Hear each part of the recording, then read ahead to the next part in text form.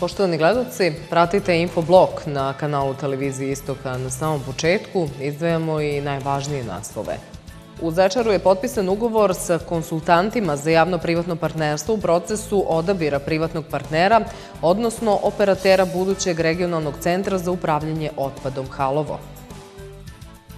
Oktobar mesec je posvećen borbi protiv raka dojke i obeležava se širom sveta sa ciljem skretanja pažnje na rasprostranjenost ove bolesti i na podizanje svesti o značaju prevencije i ranog otkrivanja. Biblioteka Centar za kulturu u Kladovu u saradnji sa Narodnom bankom Srbije nastavlja dugogodišnju uspešnu saradnju u edukativnim aktivnostima sa ciljem finansijskog obrazovanja mladih. U sredu, nakon suvog jutra, tokom dana na oblačenje sa kišom, temperatura oko 15 stepeni.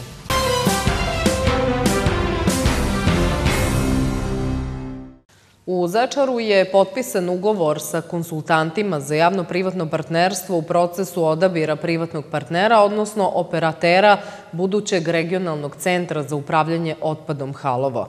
Prema rečima gradonačelnika Zaječara Boška Ničića, ovaj projekat ulazi u završnu fazu. Kako bi se očuvala životna sredina, biljni životinski svet, sprečilo zagađenje površinskih i podzemnih voda, zemlje i vazduha, kao i efekta staklene bašte, gradovi Zaječar i Bor, kao i opštine Majdanpek, Negotin, Kladovo, Knjaževac i Boljevac, postigli su dogovor da zajednički organizuju upravljanje komunalnim otpadom. Kako gradonačelnik Zaječara Boško Ničić kaže, nakon 10 godina rada na projektu Regionalnog centra za upravljanje otpadom Halovo, ulazi se u finalnu fazu. Stvarno mi je zadovoljstvo, započeo sam pre ovu priču zajedno sa vladom i ostalim kolegama koji su tada bili, neki su i danas na čelu opštine i gradova, umeđu vremenu se, znate, dešavalo, jedni su dolazili, drugi odlazili. Mislim da je sada situacija poprilično dobra, stabilna, što se tiče naših dogovaranja, jedino sokobanja i mislim da su oni ispravno možda i uradili to što su se odlučili da se opredele za Niš, ali svi ostali, pa i Kladovo je izgledno da će se vratiti u projekat, da su u jednom trenutku oni doneli odluku na Skupštini da napuste projekat, tako da ćemo se truditi i i da imamo dobar izbor partnera, da što manje tog komunalnog otpada posebno ostane u zemlji nego da bude što više prerađeno, ali i da građane što manje košta odlaganje kroz cenu smeća, ali to je već na, evo, konsultantima, ne sumnjam, imao sam prilike da vidim referense i ne sumnjam uopšte da ovaj konzorcijum koji za sebe ima projekte vredne preko 100 miliona eura do sada kroz javno-privatno partnerstvo, da će ovaj posao u ime svih sedam, šest plus jedne, nadamo se sedam opština i gradova odraditi onako kako to treba i onda nam predstoji zadnja faza, to je raspisivanje tendera za izbor partnera za javno-privatno partnerstvo. Ovom prilikom potpisan je ugovor sa konsultantima za javno-privatno partnerstvo u procesu odabira privatnog partnera, odnosno operatera budućeg regionalnog centra za upravljanje otpadom Halovo. Zadatak naših konsultanata je najkraće rečeno da spreme međunarodni tender na kome će se odabrati privatni operater koji će izgraditi i upravljati regionalnim centrom za upravljanje komunalnim otpadom za istočnu Srbiju, u kome će učestvovati sedam lokalnih samouprava, dva grada i pet opština. Ono što predstoji nakon ovog potpisivanja ugovora, mi smo danas dogovorili da ćemo 8. novembra da. održati sastanak koordinacijnog odbora, gde će konsultanti predstaviti šta su njihove, njihovi zahtevi od dokumentacije i drugih inputa koje treba da daju lokalne samouprave. Pripremili smo ugovor koji treba da potpišu opštine koje učestvuju u projektu i koji treba da definišu svoja prava i obaveze do raspisivanja tendera, odnosno do zaključenja ugovora sa privatnim operaterom. Taj ugovor ćemo im poslati e, sutra na, na, na saglasnost. Očekujemo da dobijemo zvaničnu pismenu saglasnost Ministarstva životne sredine na dokument koji se zove regionalni plan upravljanja otpadom. Dobili smo od ministarstva pre neki dan saglasnost na stratešku procenu uticaja životne sredine, projekat Regionalnog centra za upravljanje otpadom Halova Zaječar i ceo posao, tako kažem, e, ide u ovom trenutku kako treba. E, pred nama je jedan složeni zadatak koji treba da objedini interese svih potpisnica sporazuma, dakle svih lokalnih samuprava, te se nadamo da ćemo ovaj, na dobar način to uspeti da ovaj, odradimo. A imajući u vidu da je i sam teren i dokumentacija odlično pripremljena koja je prethodila praktično i ovom našem projektnom zadatku. Naš zadatak će biti da sačinimo predlog projekta na bazi već postojeće dokumentacije i da osmislimo praktično i biznis model koji će biti koji će objediniti interese kako tog budućeg privatnog partnera, tako i lokalnih samuprava i u krajnjoj liniji samog stanovništva i doprineti znači, i sutradan očuvanju životne sredine i ispunjenju nekih drugih ciljeva koji su pred našom državom u fazi i pristupa Evropskoj uniji generalno harmonizacije propisa. Drugi deo projektnog zadatka ovog konzorcijuma jeste priprema tenderske dokumentacije koja će uslediti. U naselju Metalurg u Boru ovih dana počinje izgradnja postrojenja za prečišćavanje otpadnih voda. Projektom je predviđena rekonstrukcija postojećeg objekta za istu namenu sagrađenog pre više od tri decenije, koji nikada nije radio i postavljanje nove opreme. Kapacitet novog postrojenja je sasvim dovoljan za naselje Metalurg. Ukoliko bude rastao broj stanovnika, postoji mogućnost da se njegovi kapaciteti povećaju. U zavisnosti od vremenskih prilika, postrojenje bi trebalo da bude završeno do kraja godine. Vrednost investicije je blizu 300.000 evra, a finansijska sredstva su obezbeđena iz gradskog budžeta. Oktobar mesec je mesec posvećen borbi protiv raka dojke i obeležava se širom sveta sa ciljem skretanja pažnje na rasprostranjenost ove bolesti, na podizanje svesti o značaju prevencije i ranog otkrivanja. Prema poslednjim procenama Međunarodne organizacije za istraživanje raka, u 2018. godini rak dojke je registrovan kod oko 2 miliona žena širom sveta, a preko 600.000 žena je umrlo sa ovom diagnozom. U strukturi obolevanja od svih oblika raka, rak dojke čini 24,2%, a u strukturi umiranja odgovoran je za 15% svih smrtnih ishoda od raka kod žena. Visoke stope obolevanja od raka dojke su i dalje podjednako zastupljene širom sveta.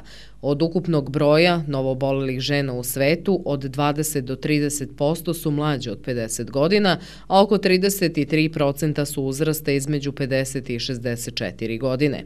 Ohrabruje da se, zahvaljujući boljem preživljavanju, prevenciji, ranom otkrivanju i terapiji, u većini razvijenih zemalja beleži pad stope umiranja kod mlađih žena uzrasta od 20 do 49 godina, a procene su da će se u sledećoj deceniji ovaj trend nastaviti. U Republici Srbiji se svake godine registruje više od 4100 novih otkrivenih slučajeva raka dojke i 1600 smrtnih ishoda od ove diagnoze. Prema procenama, žene u Srbiji se nalaze u srednjem riziku obolevanja i visokom riziku umiranja od raka dojke. Stope obolevanja i umiranja u Srbiji su u kontinuiranom porastu. Zabrinjava činjenica da je u našoj zemlji ova bolest jedna od vodećih uzroka prevremene smrti kod žena. Meren godinama izgubljenog života, rak dojke je na trećem mestu uzroka smrti kod žena uzrasta od 45 do 64 godine posle cerebrovaskularnih i ishemijskih bolesti srca. Prema iskustvima razvijenih zemalja u nedostatku dovoljnih saznanja o uzrocima nastanka raka dojke, rano otkrivanje bolesti je ključno za terapiju, bolju prognozu, preživljavanje i kvalitet života obolilih žena. Rak dojke je, ukoliko se otkrije na vreme, izlečiv u više od 90% slučajeva. Zato se ženama već od 25. godine preporučuje da jednom mesečno same pregledaju dojke, a jednom godišnje odu kod svog izabranog lekara na pregled. Posle 35. godine, imajući u vidu fiziološku strukturu dojki kod mlađih žena, najbolja diagnostička metoda je ultrazvuk, a od 50. godine preporučena je i mamografija na svake dve godine. Prema podacima Kancelarije za screening Instituta za javno zdravlje Srbije, dr. Milan Jovanović Batut, u program ranog otkrivanja raka dojke je uključeno 35 opština u kojima se obavlja screening mamografija, kao i dva mamografa koji su vlasništvo Kliničkog centra Niš Instituta za medicinu rada Srbije.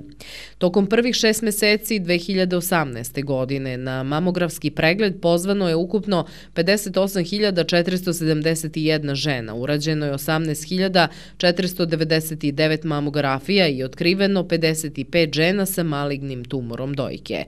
U Srbiji redovan preventivni pregled obavi tek svaka treća žena. To objašnjava činjenicu da se već godinama u Srbiji registruje jedna od najvećih stopa umiranja u Evropi od raka dojke. Žene u našoj sredini ne koriste mogućnosti preventivnih pregleda niti se u većem broju odazivaju na screening programe. Ono što treba promeniti je znanje i neophodnost ranog otkrivanja promena na dojkama, jer podaci pokazuju da se žene javljaju prekasno, te kada je bolest uznapredovala i kada su mogućnosti lečenja ograničene. 27. dani Zorana Radmilovića zatvoreni su nastupom umetničkog ansambla kineske provincije Henan i dodelom nagrada. Tokom devet festivalskih dana publika je imala priliku da vidi kvalitetna pozorišna ostvarenja i kao najbolju predstavu odabrala je komad Balkanski špijun Dušana Kovačevića u režiji Tanje Mandić-Rigonat. Zavesa 27. Zoranovih dana je spuštena. Festival u čast velikog glumca i rođenog zaječarca ove godine okupio je vrsne umetnike i kvalitetne predstave koje su postavile visoke kriterijume. Prema oceni žirija u sastavu Nebojša Bradić, predsednik, dr. Miroslav Radonjić, član i dr. Nenad Novaković, član, odlučeno je da nagradu za najbolje umetničko ostvarenje na festivalu dodeli Borku Periću za ulogu Vjekoslava Kralja u predstavi Ustav Republike Hrvatske, satiričkog kazališta Kerempuh iz Zagreba. Pa znači mi prije svega jedno veselje, jednu radost da se evo vraćam ovdje u, u, u Zaječar e, ponovno e, na festival koji je stvarno bio, iako nisam gledao druge predstave, ali po svemu što sam vidio i pratio kako sam nešto sa nekim mojim tu kolegama komunicirao, izrazito jaki, e, jaki festival. Tako da eto, znači mi, s te strane mi znači nekako puno. Ne smatram to samo svojom nagradom, nego stvarno nagradom cijele moje ekipe iz predstave i, i Nikša, i Ana, i Matija, i Damir, i, i Mliki i stvarno smo ovaj, zajedno radili predstavu, zajedno uživali, u svakom trenutku se osjećali dobro, tako da stvarno je to je naša zajednička predstava, ajmo tako reći. A svaka nagrada je na neki način je neočekivana, glupo je očekivati nagrade, to stvarno sam davno naučio da to ne treba raditi i, jer to vodi samo u nekako nezadovoljstvo. Tako da ne mislimo o nagradama kad se dogode, kad me netko javi, budem sretan, ali s druge strane opet je to nešto što treba staviti sad na, i kako dođe do police, tako to treba zaboraviti i ići raditi dalje iz početka, jer kod nas je sve iz početka. Uvijek iz početka, nema, ne nastavlja se negdje gdje smo stali, tako da tako i u našem poslu. Nagrada za vizualni identitet Krstomir Milovanović dodeljena je predstavi Naši dani Narodnog pozorišta Republike Srpske iz Banja Luke, a nagradu publike prosečnom ocenom 9.80 dobila je predstava Balkanski špijun Dušana Kovačevića u režiji Tanje Mandić-Rigonat. Ovo je inače prvo izvođenje ovog pozorišnog komada nakon Beograda. Ono što je jako dobro to je da su i ocene publike jako visoke. I e, mislim da u tom kontekstu će biti mnogo lakše napraviti sledeći festival, jer je ovaj odjeknuo e, u nekom pozorišnom svetu na pravi način. E, takođe, e, taj prateći program koji je pretvoren u festival nekih malih formi jeste e, jedan živi živi prateći program koji e, od festivala Dana Zorana Radmilovića pravi e, jednu e, jednu feštu teatra u određenom vremenskom periodu. Tako da taj neki spoj ovaj, rađenje nekog novog malog festivala iz velikog, neka transformacija velikog e, festivala u nešto još veće, kad govorimo o odabiru predstava iz regiona, je e, e, po meni na polzu publike i što je vrlo važno na polzu teatarskog života u Srbiji. Odlukom žirija kojom je predsedavao glumac Ivan Bekjarev, pobednik prvog festivala malih pozorišnih formi, je Nebojša Dugalić sa ulogom u monodrami Ispovest Dimitrija Karamazova, Fjodora Dostojevskog. Specijalna nagrada ovog festivala pripala je predstavi Brevrovizija, koju je predstavio Vladimir Cvejić i predstavi Bobočka ili drugih sto stranica Filipa Latinovića, teatra Moruskova iz Zagreba. U čast nagrađenih nastupio je umetnički ansambl kineske provincije Henan, koje čine dve profesionalne trupe. Jedna je umetnička trupa pesama i igara provincije Henan, a druga Zhongyue Shaolin Zen, borilačka akrobatska trupa. Ja sam malo dirnut. Inače, pre, mislim, 25 ili čak više godina ja sam imao neku saranju sa Zajčarom. I ovu puta ja sam ovde već sedam i pol godina. I meni je čast i jako drago što imam priliku da večeras prisustvujem zatvaranju festivala Dani Zorana uh, Radmilović, ja se njavam, da, da, da, je. I baš meni je drago i u tome što danas se završava festival, a odmah počne kineski program, kao štafeta. Želim da kažem da ta štafeta i u budući nastavimo. Pre toga, u prethodnih osam festivalskih dana, posetioci kojih je sala bila puna, tako da nije bilo mesta ni za stajanje, mogli su da vide sedam takmičarskih predstava, od kojih su četiri predstavljale nacionalna pozorišta iz regiona, iz Beograda, Sofije, Sarajeva i Banja Luke, onda je jedno od najboljih pozorišta iz Hrvatske, Zagrebačko satiričko kazalište Kerempuh, uz Zvezdaru teatar, znači teatar Dušana Kovačevića i Atelje 212, matično pozorište Zorana Radmilovića, kao i činjenica da smo našom premijerom, premijerom predstave Audijencije Vernisaž, počeli ovaj festival, govori dovoljno za sebe. Toko bogatstvo nikad nije bilo. Novi kvalitet ovog festivala koji smo ove godine uveli je festival u festivalu. Dakle, festival nagrađenih pozorišnih predstava, odnosno malih formi, monodrama i duodrama koji se odvijao paralelno u našoj, u, na našoj maloj sceni u Kotlujevcu. Podigli smo visoko lesvicu i boga mi već sad mislimo šta ćemo naredne godine da uradimo, ali s obzirom da imam poverenja u svoje saradnike i prijatelje u Srbiji i zemljama u okruženju, siguran sam da ćemo iduće godine smisliti nešto novo, čime ćemo odobrati publiku na tada 28. danima Zoran Radmilovića u Zaječaru. Svečanosti dodale nagrada prethodila je promocija knjige Četiri ludila Miloša Latinovića, o kojoj je govorio dr. Miroslav Miki Radonjić. Zbog seče rastinja bez električne energije će u sredu biti domaćinstvo u selima Kovilovo i Aleksandrovac. Meštani ovih sela biće bez električne energije u vremenu od 9 do 14 sati. Zbog seče rastinja, kako se sa istog izvoda napaja i selo Brusnik u opštini Zaječar, domaćinstva u tom selu će takođe ostati bez električne energije, budući da će ekipe i na tom području iseći rastinje u zaštitnom pojasu dalekovoda. Biblioteka Centar za kulturu Kladovo u saradnji sa Narodnom bankom Srbije nastavlja dugogodišnju uspešnu saradnju u edukativnim aktivnostima sa ciljem finansijskog obrazovanja mladih. U periodu od 29. do 31. oktobra ove godine, a povodom obeležavanja Nedelje štednje, koja počinje 31. oktobra i traje u prvoj nedelji novembra. Za učenike osnovnih i srednjih škola opštine Kladovo organizovaće se radionice prilagođene njihovom uzrastu i to radionica Znameniti Srbi za osnovce od prvog do četvrtog razreda, zatim radionica Moj budžet i ja za srednjoškolce i radionica Dinar naš novac za osnovce od četvrtog do osmog razreda.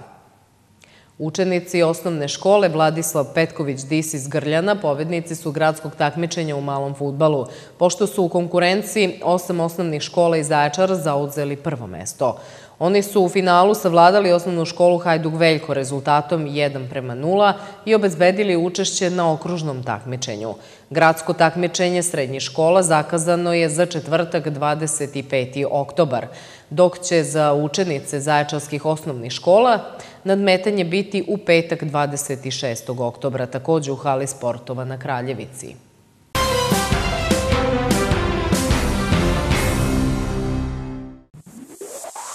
Kupovati na rate je lako, ali kvalitet i uslugu ne nudi svako. Kada vam zatreba sve od tehnike, svratite do Tehnomedije. Tu vas čeka ponuda kvaliteta, besplatni savjeti naših zaposlenih, uzbudljiva trka akcijskih cena, plus odloženo plaćanje na 24 rate bez kamate na preko 30 lokacija u Srbiji. Čekamo vas, vaša Tehnomedija. Portal Zaječar – generalni uvoznik i distributer kotlova Defro, najveći proizvođač kotlova u Poljskoj, kao jedan od najvećih i najsavremenijih proizvođača kotlova u Evropi. Pod stalnom je kontrolom Nemačke institucije za nadzor proizvodnje i izvoz iz zemalja Evropske unije – Na srpskom tržištu nastupa sa najnovijim automatskim kotlovima za centralno grejanje. Kotlovi Defro, Duo, Uni i Sigma Uni namenjeni su za automatsko loženje, ugljem prečnika do 25 mm, peletom, košticama ili ovsom. Ručno loženje i automatska kontrola sagorevanja kod ovih kotlova je za ugalj veći od 25 mm i drvo. Defro HG kotlovi namenjeni su za suvo drvo koje sagorevaju procesom pirolize, Defro kotlovi imaju visok stepen iskorišćenja i zadovoljavaju najstrože ekološke norme. Opremljeni su kontrolnom tablom najnovije generacije sa procesorskom kontrolom sagorevanja i rada celog sistema grejanja. Lako se čiste i održavaju. Uz ugradnju dopunskih modula moguća je kontrola kotla sa udaljenog mesta putem mobilnog telefona ili interneta. Generalni uvoznik i distributer kotlova Defro, portal DO Zaječar – 019 42 42 45.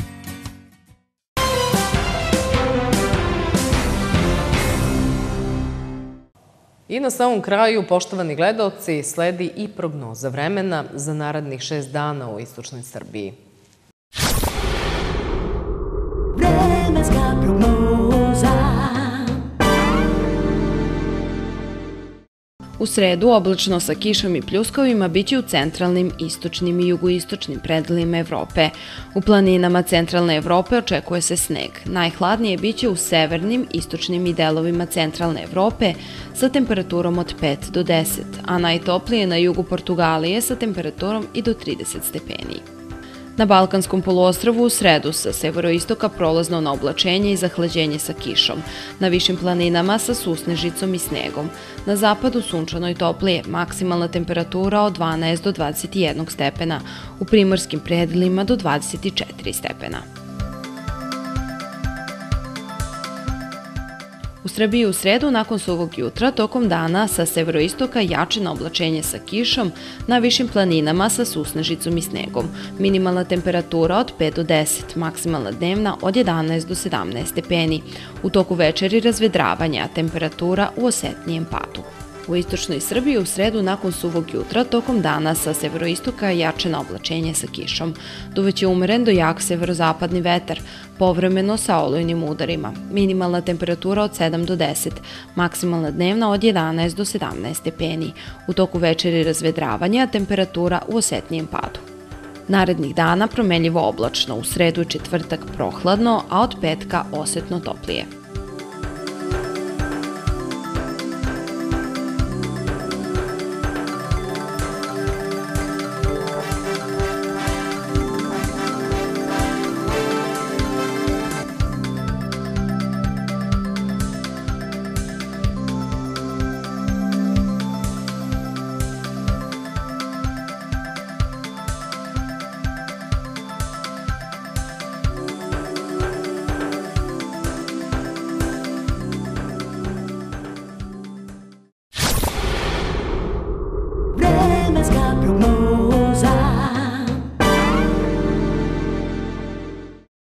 Vremenska prognoza je ujedno i posljednja informacija u ovoj informativnoj emisiji. Pratili ste Infoblog, hvala vam na pažnji.